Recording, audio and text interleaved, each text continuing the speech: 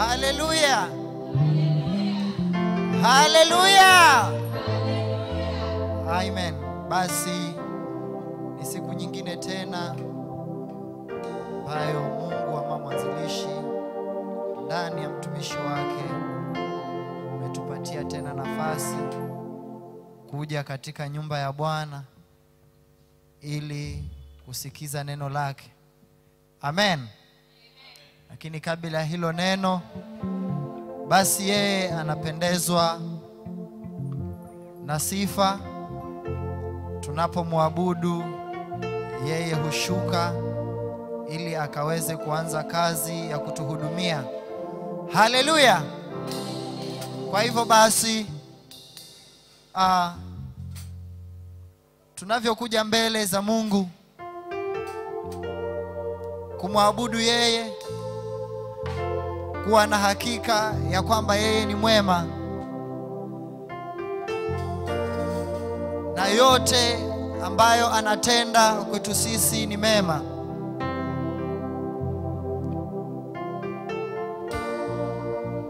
Kaa pamoja nami tunapoimba nyimbo hii.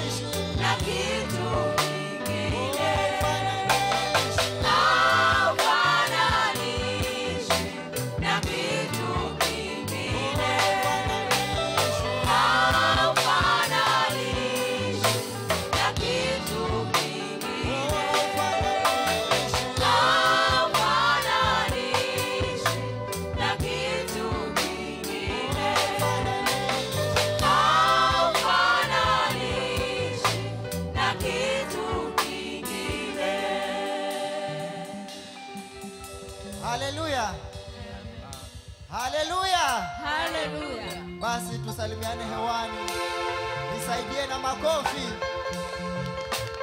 Weka makofi ya nguvu kwa Yesu. Amen. Haleluya. Haleluya. Bwana Yesu asifiwe. Amen. Bwana Yesu asifiwe. Amen.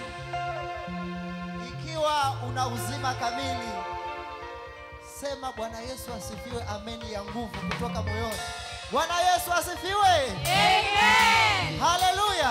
Hallelujah. Haleluya. Hallelujah. Jameni, maisha yetu sisi wenyewe hatuwezi kuyatawala.